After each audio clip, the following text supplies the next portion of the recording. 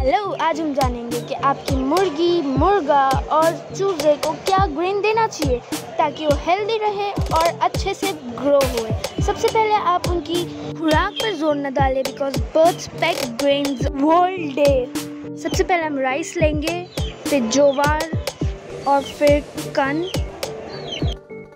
और फिर बाजरा और मका। मका एक किलो रहेगा और बाकी सब दाने हम वन फोर्थ के जी लेंगे। और अब मैंने इसे ग्राइंड करके रेडी कर लिया है और इसके बाद हम अब मिक्स करेंगे। तो ये हम एक साथ मिक्स कर लेते हैं। ये हमने अब मिक्स कर चुके हैं और अब ये आप अपनी मुर्गी, मुर्गा और चूज़ों को इजीली दे सकते हैं। Please subscribe my channel like my video and share it to your friends thank you